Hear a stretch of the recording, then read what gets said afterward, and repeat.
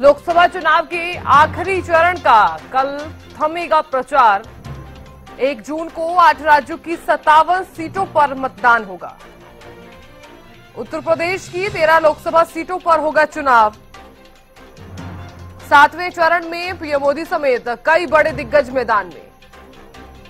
तो लोकसभा चुनाव के आखिरी चरण का कल थमेगा प्रचार। एक जून को आठ राज्यों की सत्तावन सीटों पर मतदान।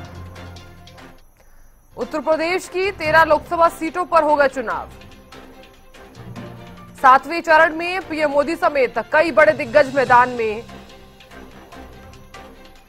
लोकसभा चुनाव के आखिरी चरण का कल प्रचार थमेगा। तो बड़ी जानकारी हम साझा कर रहे हैं, उत्तर प्रदेश की तेरह लोकसभा सीटों पर चुनाव होगा। तो चुनाव के सातवें सातवें चरण का ये रण है, जिसमें आठ राज्यों की सत्तावन सीटों के लिए मतदान और राज्य और लोकसभा सीटों का हम ज़िक्र कर रहे हैं। लोकसभा सीटें यानी कि बिहार की आठ सीटों पर चुनाव और साथ ही हिमाचल प्रदेश की चार सीटों पर, झारखंड की तीन सीटों पर। ओडिशा की छह और पश्चिम बंगाल की नौ सीटें। यूपी की तेरह और पंजाब की भी तेरह। दाव पर इन दिग्गजों की साख है। वाराणसी से एनडीए गठबंधन से पीएम मोदी इंडी गठबंधन से अजय राय। मंडी से कंगना रनौत और इंडी गठबंधन से विक्रमादित्य सिंह।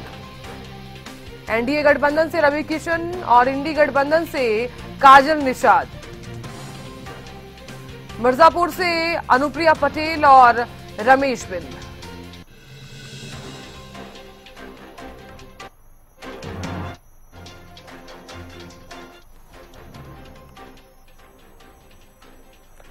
और खबर पर ज़्यादा विश्लेषण करने के लिए हरियाणा न्यूज़ के पॉलिटिकल एडिटर अमित जुड़ गए हैं। अमित देखिए लोकसभा चुनाव का ये फाइनल राउंड है और ऐसे में कल चुनाव प्रचार भी थम जाएगा। आ, किस तरह से देखा जाए ये सातवें चरण का चुनाव? अमित। देखिए साधना छह दौर का दंगल चुनावी दंगल हो चुका है देश में। और एक तरह से सरकार के लिए जो ज़रूरी आंकड़ा होता है, वो उसमें सरकार तो इस आंकड़े के दौरान बन गई है।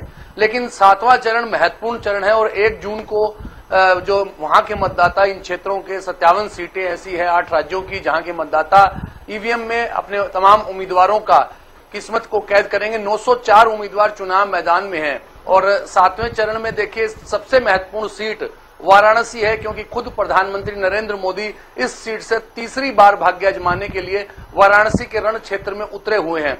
वाराणसी बनारस या काशी आप जो भी कहिए लेकिन यह सीट जो है पूरे देश की निगाह में है। और पहले भी प्रधानमंत्री ने जब शुरुआत की थी 2014 से उन्होंने कहा कि माँ गंगा ने मुझे बुलाया है। और अब अब तीसरे दौर में जब आकर वे तीसरी बार चुनाव मैदान में उतरे तो उन्होंने यह कहा कि माँ गंगा ने मुझे गोद ले लिया है। तो ऐसे में यह महत्वपूर्ण सीट और पूर्वांचल की देख तमाम सीटें। और जैसा कि आपने बताया कि तेरह सीटें पंजाब की हैं और तेरह ही उत्तर प्रदेश की हैं। और खासतौर पर तेरह पंजाब की बात करें तो 27 साल बाद देखिए भारतीय जनता पार्टी यहाँ से अकेले चुनाव मैदान में उतरी हुई है। तो इस बार जो है वो बड़ी चुनौती भाजपा के लिए भी है। अपनी जो दो तीन सीटें वे हमेशा से जीतते आए थे, वो भी बचानी है और अकेले अपना दमखम दिखाना है। तेरह सीटों पर चुनाव मैदान में भाग्य अजमा रही है भाजपा। पहले शिरोमणि अकाली दल के साथ मिलकर चुनाव लड़ा करती थी। इस बार पंजाब के क्षेत्र में एक दिलचस्प बात केवल भाजपा को लेकर नहीं है, दो बातें और भी हैं क्योंकि आईएनडीआई गठबंधन देखे देश भर में चुनाव लड़ रहा है एक साथ मिलकर। लेकिन पंजाब में आने के बाद आम आदमी पार्टी और कांग्रेस के जो रास्ते हैं वो अलग अलग दिखाई देते हैं। दोनों एक दूसरे के खिलाफ चुनाव मैदान में उतरे हुए हैं। तो ऐसे में पंजाब के क्षेत्र पर पंजाब के चुनाव पर खासतौर पर निगाहें तेरह की तेरह सीटों पर देखिए कांग्रेस और आम आदमी पार्टी के उम्मीदवार एक दूसरे के सामने खड़े हैं। वहीं शिरोमणि अकाली दल और भारतीय जनता पार्टी भी इस बार चुनाव मैदान में है। तो कहीं चौकोणीय मुकाबला कहीं त्रिकोणीय मुकाबला देखने को मिल रहा है। हम्म। और साथ साथ बात करें तो हिमाचल प्रदेश की चार सीटों पर चुनाव होने जा रहा है जिनमें मंडी की सीट जो है खासी चर्चा में है क्योंकि वहाँ से अभिनेत्री कंगना रानौत चुनाव मैदान में है। और अगर बात करें तो चंडीगढ़ की भी एक सीट है जहाँ से भारतीय जनता पार्टी के वरिष्ठ नेता रहे पूर्व राज्यपाल लालजी टंडन के बेटे संजय टंडन चुनाव मैदान में है। उनका मुकाबला कांग्रेस के मनीष तिवारी से है। और अगर इधर उत्तर अगर आते हैं आगे उत्तर प्रदेश की तरफ़ तो देखिए, गोरखपुर की सीट है जहाँ से अभिनेता रवि किशन चुनाव मैदान में है। उनका मुकाबला काजल निषाद से है। तो यहाँ निषाद जाति के जो लोगों को, की बहुतायत है, उसको देखते हुए इस बार जो है, वो निषाद उम्मीदवार उतारा है। क्योंकि पहले बार भी इससे पहले एक बार उपचुनाव हुआ जब योगी आदित्यनाथ को मुख्यमंत्री बना दिया गया था। उस समय निषाद उम्मीदवार उतारा गया था जिसने सारा समीकरण जो है बदल दिया इस क्षेत्र का। इसी तरह से गाजीपुर घासी घोसी सीट है और बलिया सीट है जहाँ से भारतीय जनता पार्टी ने पूर्व प्रधानमंत्री चंद्रशेखर के बेटे नीरज शेखर को चुनाव मैदान में उतारा है। और इधर बिहार में देखिए विरासत की जंग लड़ने के लिए ही अगर बात करें तो मैदान में उतरी हुई है पाटलिपुत्र सीट से। खुद मीसा भारती चुनाव मैदान में उतरी हुई लालू यादव की पुत्री है मीसा।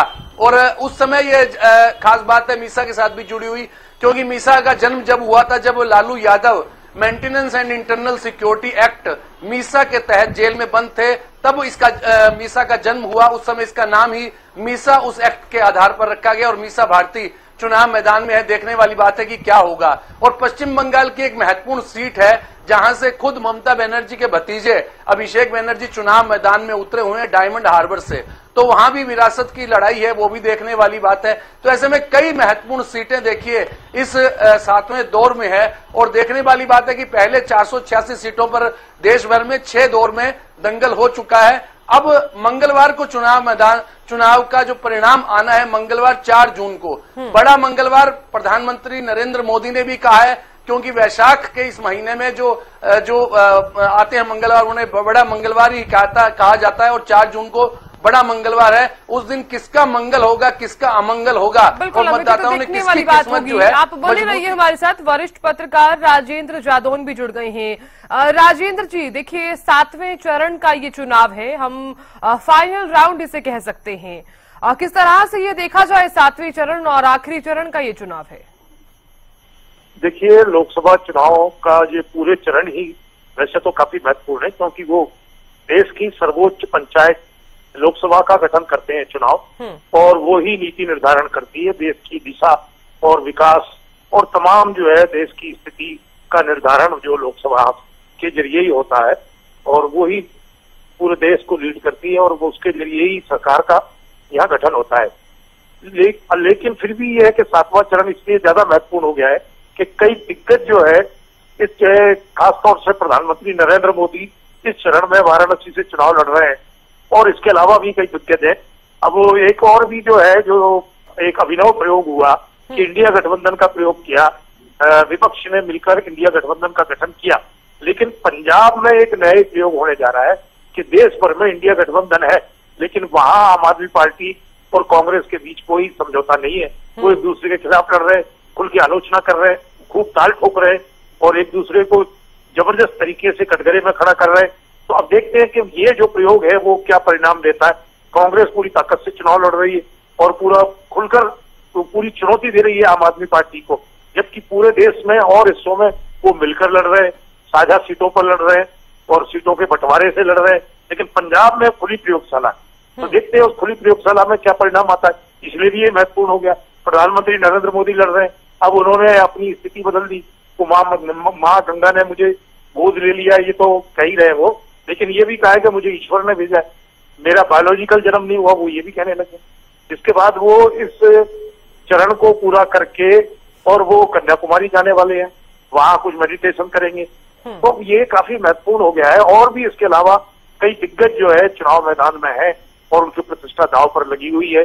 और भारतीय जनता पार्टी तो दावा कर रही है कि हम पहले ही पूर्ण बहुमत हासिल कर चुके हैं। और अब देखिए कि बाकी की उनको 400 पार करेंगे। अब सातवां चरण पूरा कर गई। तो अब ये चरण काफ़ी महत्वपूर्ण भूमिका निभाएगा कि देखते हैं कि किस तरह से क्या परिणाम आते हैं। बिल्कुल।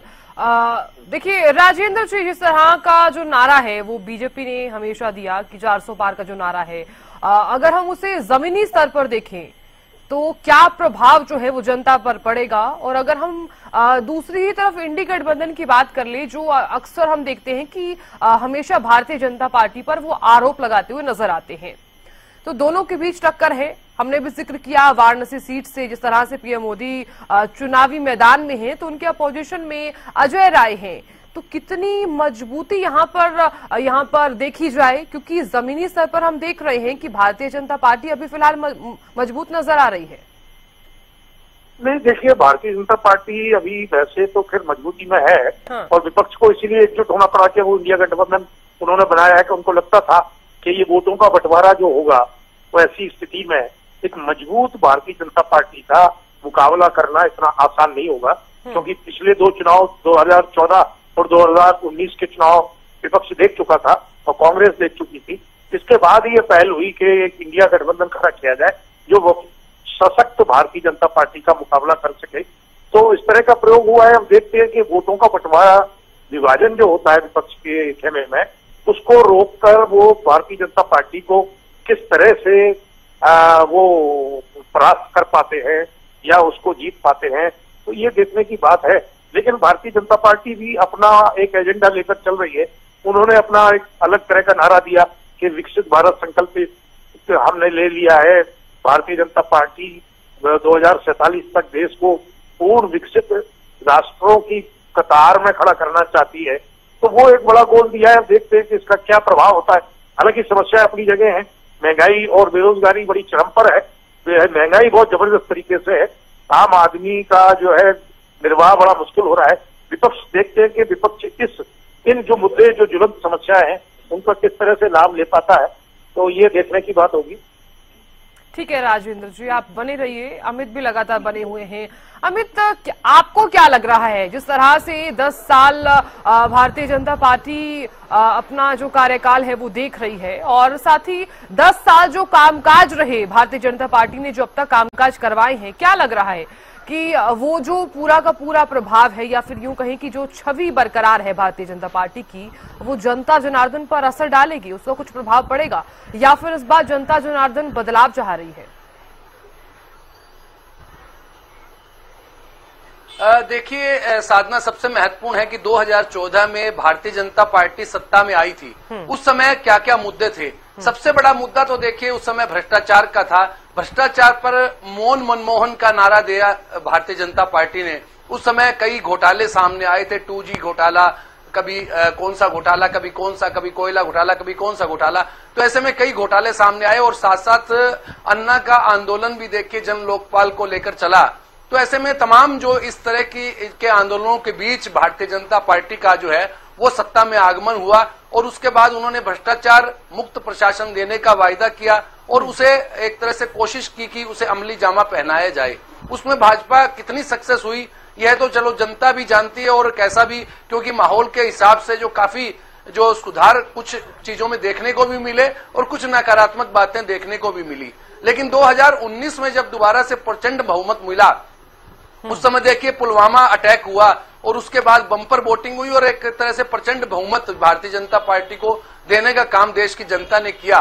और उसके बाद 2019 से लेकर 2024 तक का जो सफ़र भाजपा ने किया, भाजपा ने सत्ता में रहते हुए किया, उसमें कई ऐसे महत्वपूर्ण वायदे जो जनता से लगातार भाजपा अपने गठन के साथ करती आ रही थी, उनके साथ जो मुद्दे, मूलतः उनके साथ जुड़ गए थे, जो माने जाने लगे थे, चाहे राम मंदिर की बात करें, धारा अनुच्छेद अनुच्छेद 370 जम्मू कश्मीर से हटाने की बात करें, तीन तलाक के मसले की बात करें, या इस तरह की कई और जो नारी शक्ति बंधन अधिनियम है तैतीस प्रतिशत जो आरक्षण की बात है महिलाओं को विधायिका में तो ऐसे कई वायदे जो है उन्होंने पूरे किए और साथ साथ देश की छवि को अंतर्राष्ट्रीय स्तर पर मज़बूत करने का काम किया। इसमें कोई दो राय नहीं है। जी ट्वेंटी शिखर सम्मेलन का आयोजन हुआ उसमें एक सदस्य देश की धरती पर ही जुड़ा।